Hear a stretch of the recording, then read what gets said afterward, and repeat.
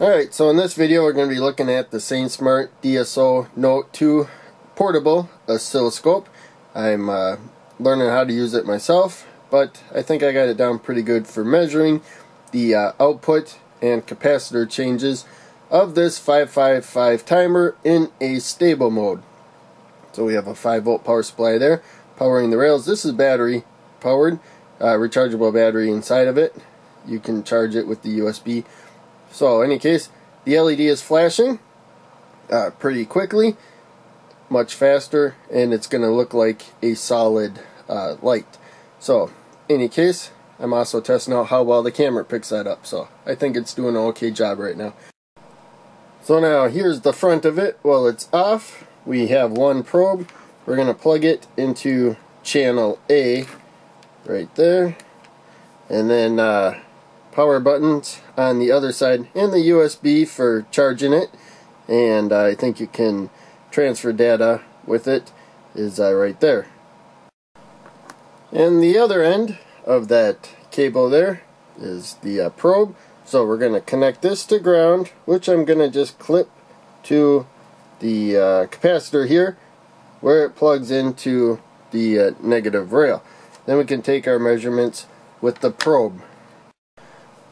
So now, let's turn the uh, meter on.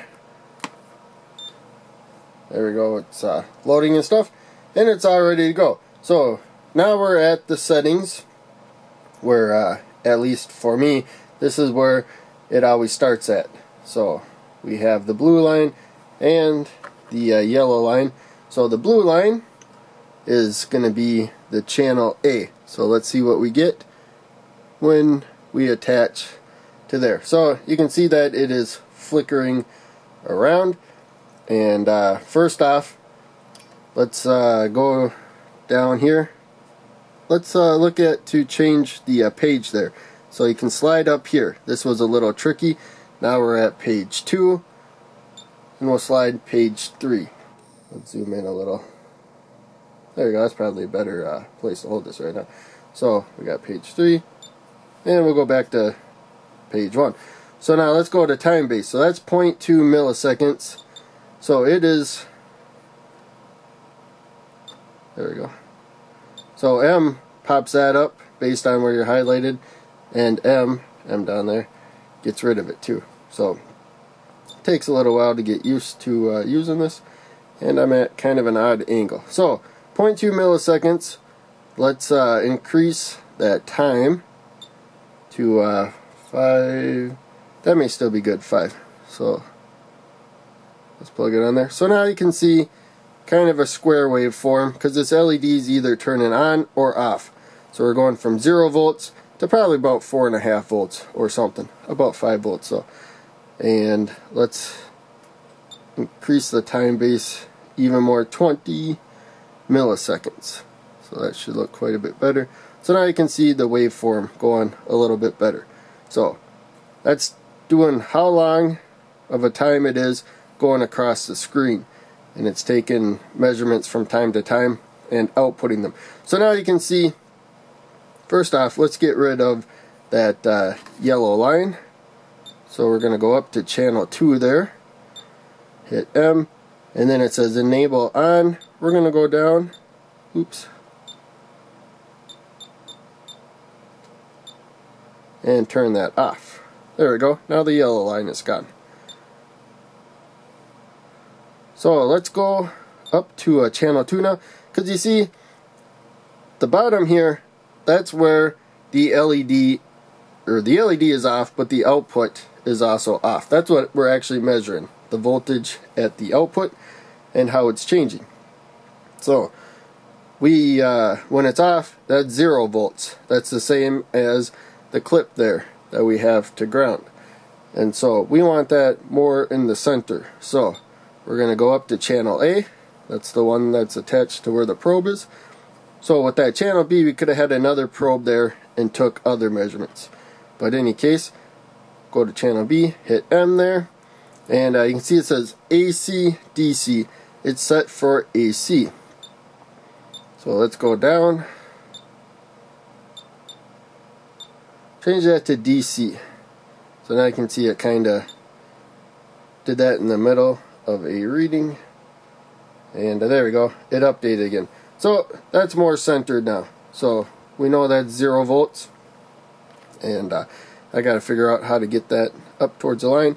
But in any case there you go. So this says 2 volts. So each one of these squares is uh, 2 volts. We can also change that to uh, 1 volt. Alright so now we went to uh, page 2 remember again you just kind of swipe here. Uh, so we have frequency there. So we should get the frequency down there. We're not getting the duty to uh, pop up. That's down there. I'll uh, I'll show these measurements right there. And so for frequency I think we should have uh, 9,000 about 9,000 hertz right or 9 hertz I mean right there it says uh, 4.61 I don't know if you can see that so it takes a little while for it to uh, refresh from its readings but uh, Alright, I'm going to hold there. But in case, there we go. 9.09 hertz. And so I used a calculator for uh, 555 timer astable mode. And it gave me the frequency and the duty. We should have about 66% duty. We're not getting anything. So it's yellow right there. So I think it's measuring channel 2. So let's go to uh, duty here. Press M. And uh, on there it says source channel B. So I meant channel B, not channel 2. So let's change that to channel A. And it says up there 66% now there. And there's some other things you can change there. Right now it's measuring uh, duty.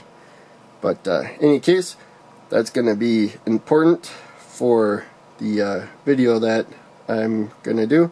66% there.